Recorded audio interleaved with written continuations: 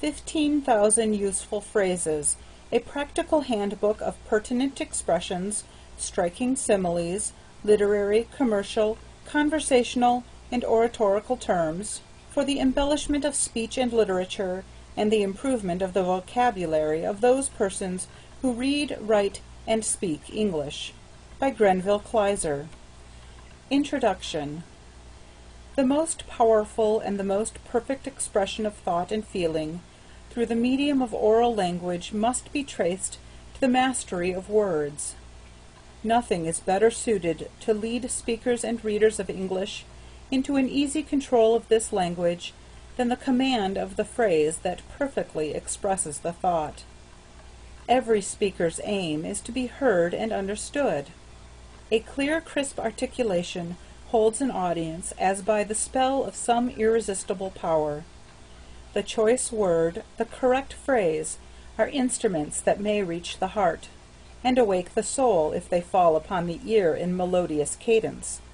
But if the utterance be harsh and discordant, they fail to interest, fall upon deaf ears, and are as barren as seed sown on fallow ground. In language, nothing conduces so emphatically to the harmony of sounds as perfect phrasing; that is, the emphasizing of the relation of clause to clause, and of sentence to sentence, by the systematic grouping of words. The phrase consists usually of a few words which denote a single idea that forms a separate part of a sentence. In this respect it differs from the clause, which is a short sentence that forms a distinct part of a composition, paragraph, or discourse. Correct phrasing is regulated by rests. Such rests do not break the continuity of a thought or the progress of the sense. Grenville Kleiser who has devoted years of his diligent life to imparting the art of correct expression in speech and writing, has provided many aids for those who would know not merely what to say, but how to say it.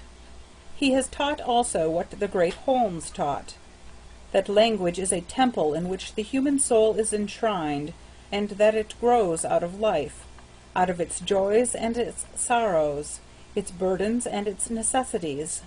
To him, as well as to the writer, the deep strong voice of man and the low sweet voice of woman are never heard at finer advantage than in the earnest but mellow tones of familiar speech. In the present volume Mr. Kleiser furnishes an additional and an exceptional aid for those who would have a mint of phrases at their command from which to draw when in need of the golden mean for expressing thought. Few indeed are the books fitted today for the purpose of imparting this knowledge, yet two centuries ago phrase books were esteemed as supplements to the dictionaries, and have not by any manner of means lost their value. The guide to familiar quotations, the index to similes, the grammars, the readers, the machine-made letter-writer of mechanically perfect letters of congratulation or condolence, none are sententious enough to supply the need. By the compilation of this praxis, Mr. Kleiser has not only supplied it, but has furnished a means for the increase of one's vocabulary by practical methods. There are thousands of persons who may profit by the systematic study of such a book as this, if they will familiarize themselves with the author's purpose by a careful reading of the preliminary pages of his book. To speak in public pleasingly and readily, and to read well, are accomplishments acquired only after many days, weeks even, of practice. Foreigners sometimes reproach us for the asperity and discordance of our speech, and in general this reproach is just, for there are many persons who do scanty justice to the vowel elements of our language. Although these elements constitute its music, they are continually mistreated. We flirt with and pirouette around them constantly. If it were not so, English would be found full of beauty and harmony of sound. Familiar with the maxim, "Take care of the vowels, and the consonants will take care of themselves," a maxim that, when put into practice, has frequently led to the breaking down of vowel values.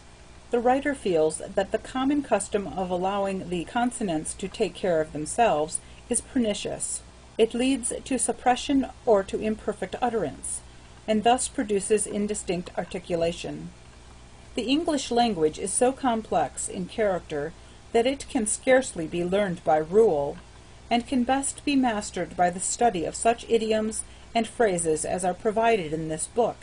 But just as care must be taken to place every accent or stress on the proper syllable in the pronouncing of every word it contains, so must the stress or emphasis be placed on the proper word in every sentence spoken.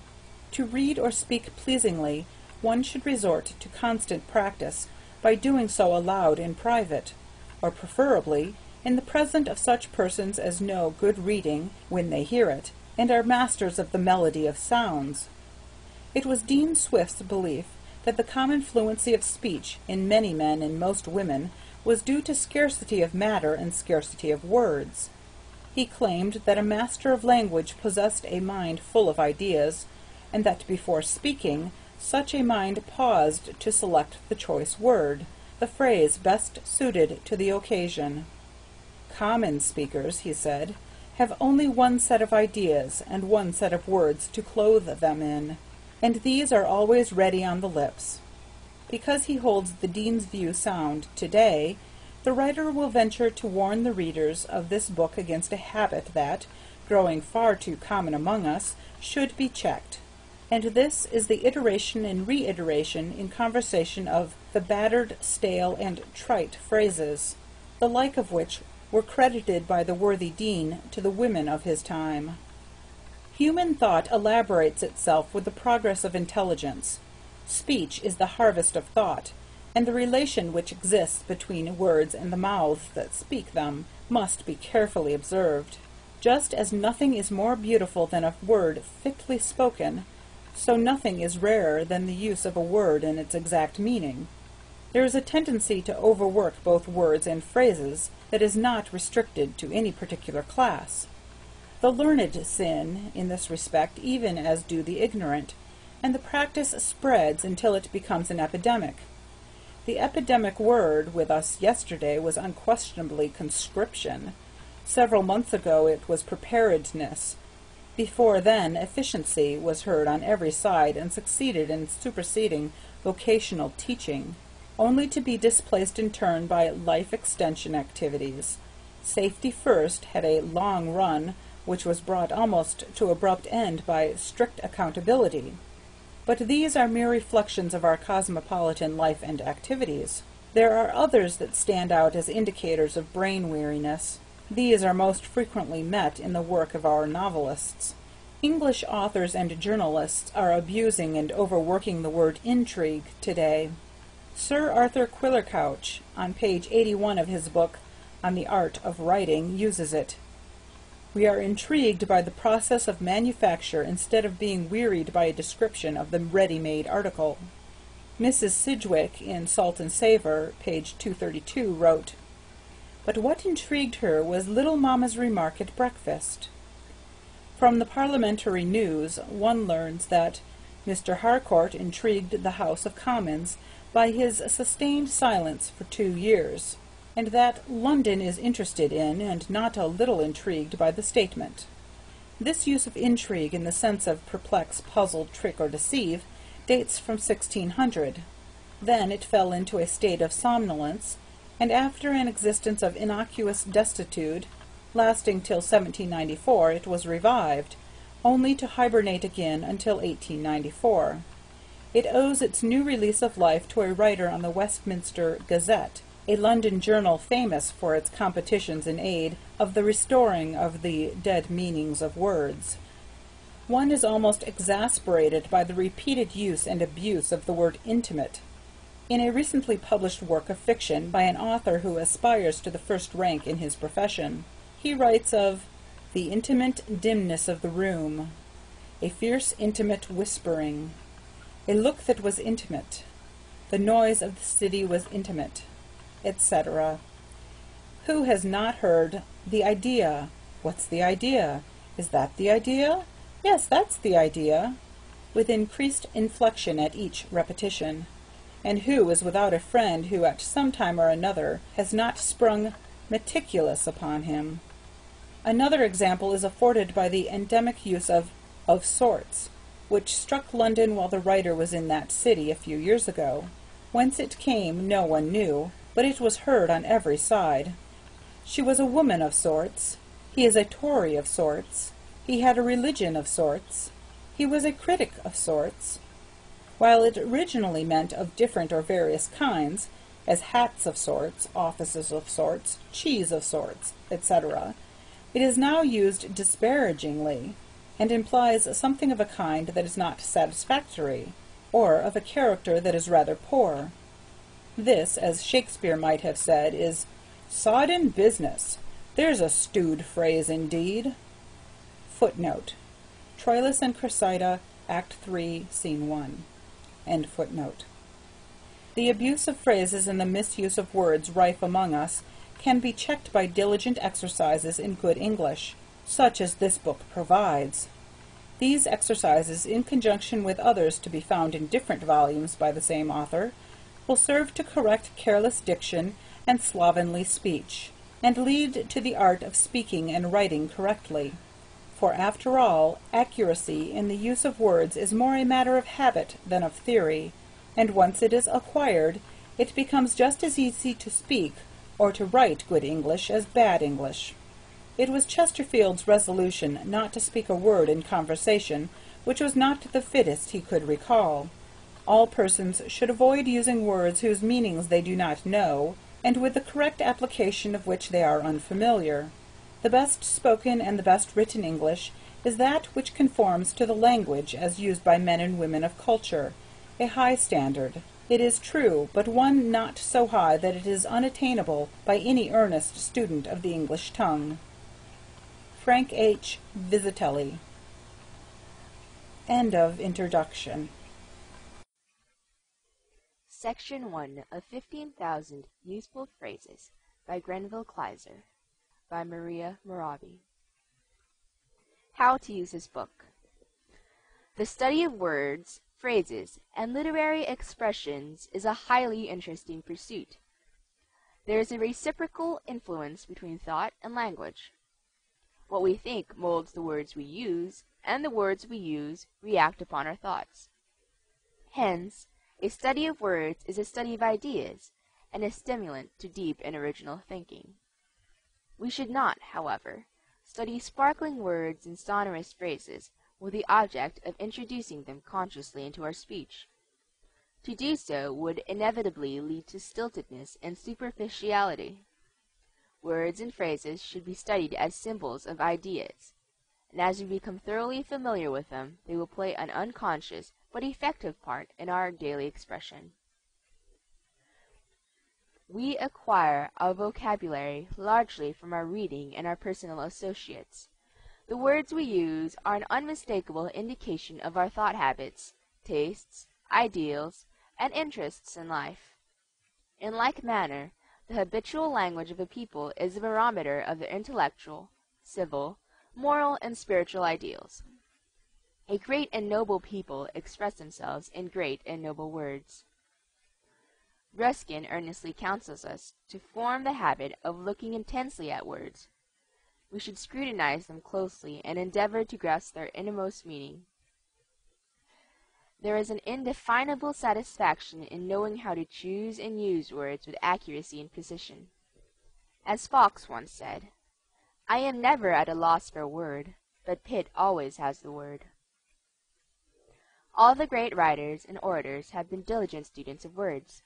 Demosthenes and Cicero were indefatigable in their study of language.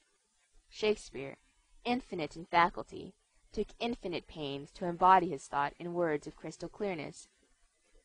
Coleridge once said of him that one might as well try to dislodge a brick from a building with one's forefinger as to omit a single word from one of his finest passages.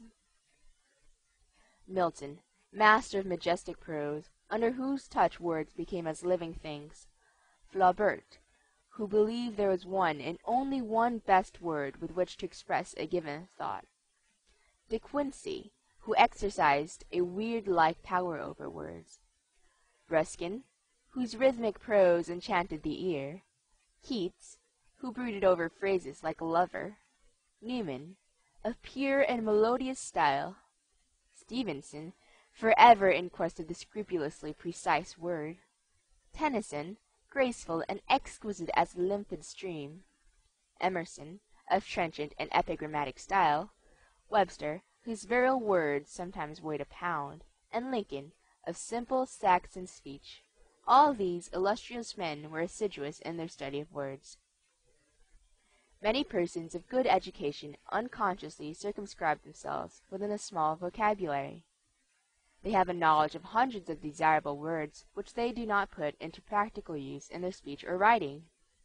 Many, too, are conscious of a poverty of language, which engenders in them a sense of timidity and self-depreciation. The method used for building a large vocabulary has usually been confined to the study of single words. This has produced good results, but it is believed that eminently better results can be obtained from a careful study of words and expressions, as furnished in this book, where words can be examined in their context.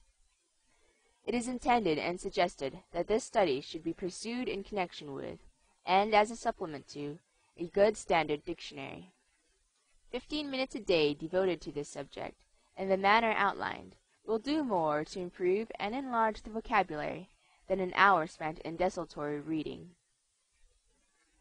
There is no better way in which to develop the mental qualities of clearness, accuracy, and precision, and to improve and enlarge the intellectual powers generally, than by regular and painstaking study of judiciously selected phrases and literary expressions. End of section 1. This recording is in the public domain.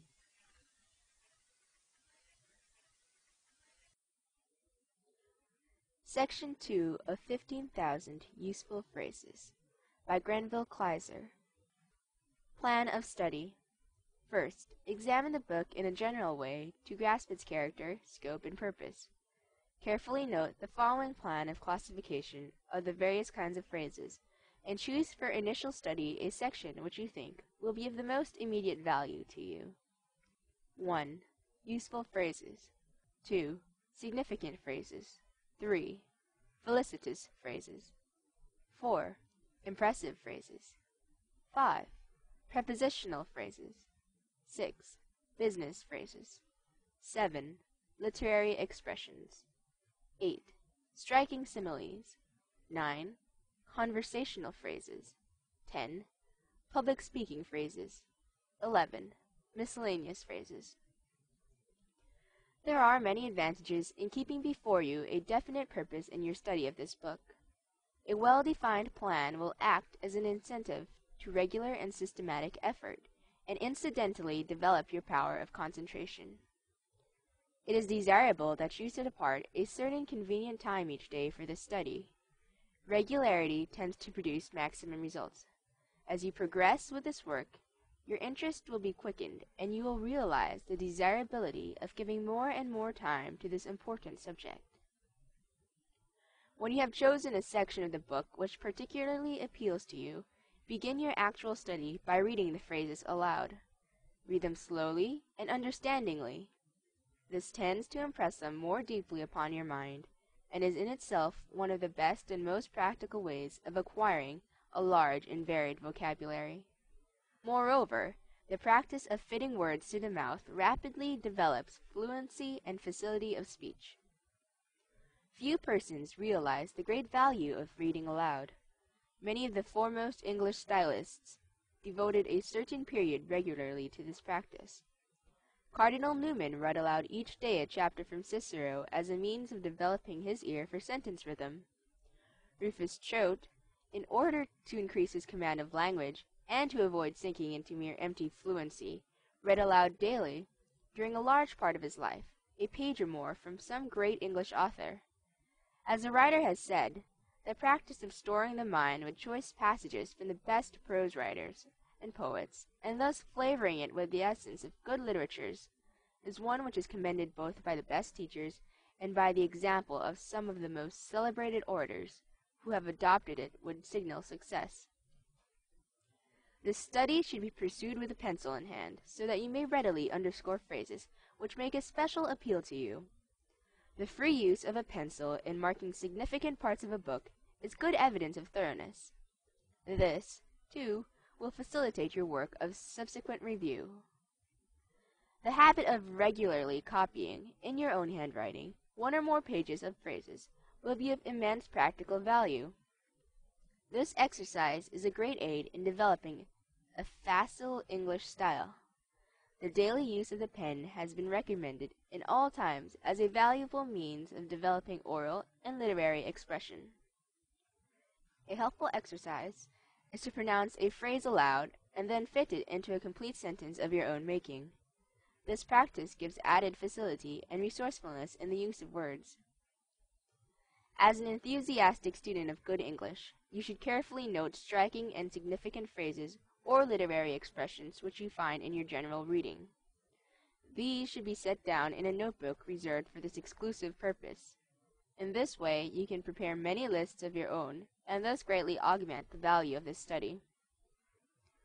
The taste for beauty, truth, and harmony in language can be developed by careful study of well-selected phrases and literary expressions as furnished in this book. A good literary style is formed principally by daily study of great English writers, by careful examination of words in their context, and by a discriminating use of language at all times. Grenville Kleiser, New York City, July, 1917. End of section 2. This recording is in the public domain.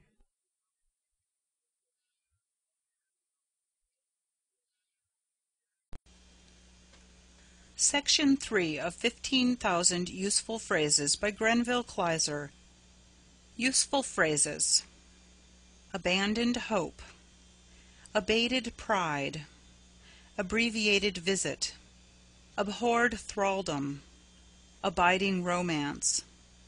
Abject submission, abjured ambition, able strategist, abnormal talents, abominably perverse, abounding happiness, abridged statement, abrogated law, abrupt transition, absolutely irrevocable, absorbed reverie, abstemious diet, abstract character, abstruse reasoning, absurdly dangerous, abundant opportunity, abusive epithet, abysmally apologetic, academic rigor, accelerated progress, accentuated playfulness, accepted littleness,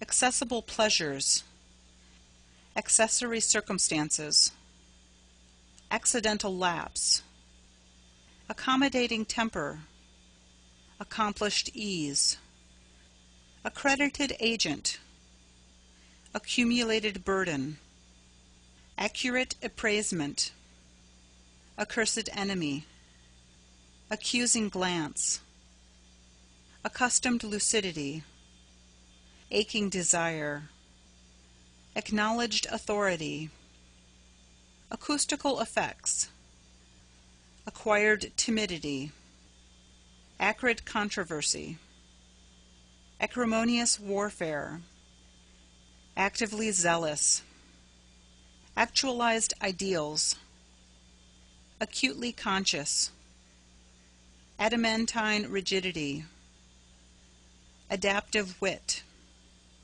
adduced facts, adequate execution, adhesive quality, administered rebuke, admirable reserve, admissible evidence, admittedly inferior, admonitory gesture, adolescent youth, adorable vanity, adroit flatterer, adulated stranger, adventitious way, adventurous mind, adverse experience, affably accommodating, affected indifference, affectionate approval, affianced lady, affirmative attitude, affluent language, affrighted slave,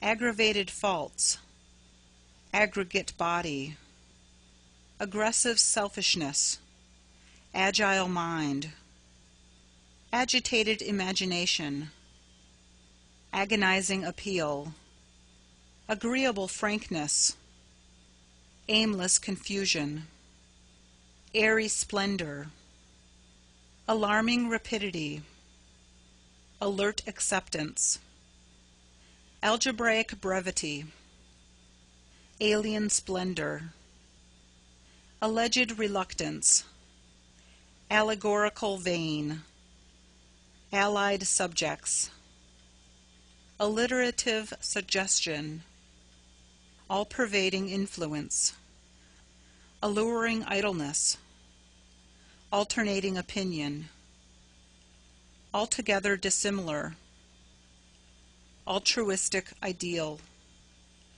amatory effusions, amazing artifice, ambidextrous assistant, ambiguous grimace, ambitious project, ambling pedestrian, ambrosial essence, amiable solicitude, amicable arrangement, amorous youth, ample culture. End of section 3. This recording is in the public domain.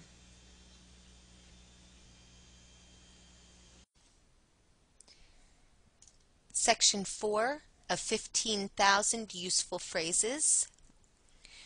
Amusing artlessness, analogous example, analytical survey, ancestral creed, ancient garb, angelic softness, angry protestations, anguished entreaty, angular features, animated eloquence, annoying complications, animalist appearance, anonymous benefactor, answering response, antagonistic views, antecedent facts, anticipated attention, antiquated prudery, anxious misgiving, apathetic greeting, aphoristic wit, apish agility, apocalyptic vision, apocryphal lodger, apologetic explanation, apostrophic dignity, appalling difficulties, apparent significance,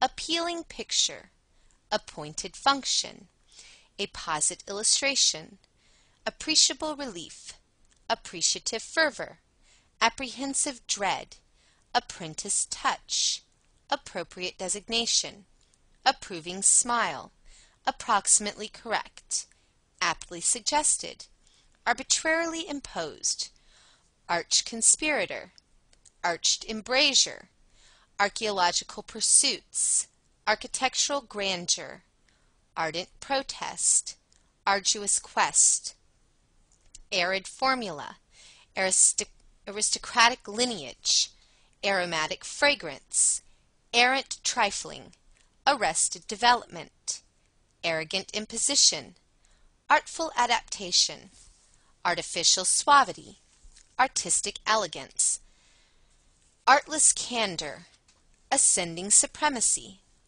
ascetic devotion, ascribed productiveness, aspiring genius, assembled arguments, asserted activity, assiduously cultivated, assimilative power, assumed humiliation, assuredly enshrined, astonishing facility, astounding mistakes, astute observer, athletic prowess, atmospheric vagueness, atoning sacrifice, atrocious expression, atrophied view, attending circumstances, attentive deference, attenuated sound, attested loyalty, attractive exordium, audacious mendicant, audible in- intimations, augmented force, august tribunal, auspicious moment, austere charm, authentic indications, authoritative critic, autobiographical pages, autocratic power, automatic termination, autumnal skies, auxiliary aids, available data, avaricious eyes, avenging fate, average excellence, averted calamity, avowed intention, awakened curiosity, odd devotion, awful dejection, awkward dilemma, axiomatic truth, azure sky. End of section 4. This recording is public domain. Section 5 of 15,000 Useful Phrases. Babbling Gossip, Bacchanalian Desires, Bachelor Freedom, Bad Omen, Baffled Sagacity, Balanced Capacity, Baldly Described, Baleful Glances, Balmy Fragrance, Bandying Talk, Baneful Impression, Banished Silence, Barbarous Statecraft, Barefaced Appeal, Barest Commonplaces, Barren Opportunities, Base intrigue, Intrigues, Baseless Assumptions, Bashful Modesty, Basic Principles, Battered Witticism, Beaming Countenance, Bearish Rudeness, Beatific Vision, Beautiful Modesty, Beckoning Horizon, Becoming Diffidence, Bedraggled Wretch, Befitting Honor, Beggarly Flimsiness, Beguiling Voice, Belated Acknowledgment, Belittling Fears, Bellicose Humanity, Beneficent Career, Benevolent Regard, Benighted Sense, Benignant Pity, Beseeching Gesture, Besetting Heresy, Besotted Fanaticism, Bestial Ferocity, bewildering maze,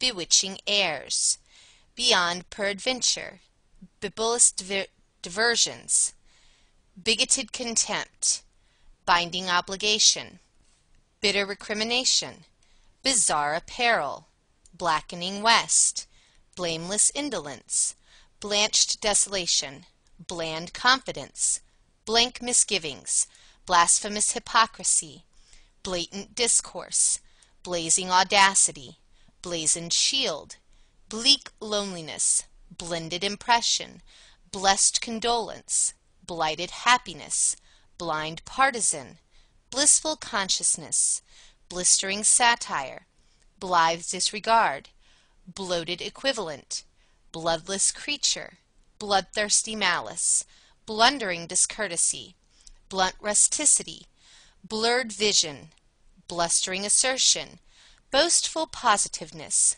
bodily activity, boisterous edification, bold generalization, bombastic prating, bookish precision, boon companion, boorish abuse, bored demeanor, borrowed grace, bottomless abyss, boundless admiration, bountiful supply, boyish appreciation, braggart pretense, bravely vanquished, braying trumpet, brazen importunity, breathless eagerness, brief tenure, briefless barrister, bright interlude, brilliant embodiment, brisk energy, bristling temper, temper, brittle sarcasm, broadening fame, broken murmurs, brooding peace, brutal composure, bubbling frivolities, bucolic cudgeling, budding joy, bulky figure, buoyant pluck,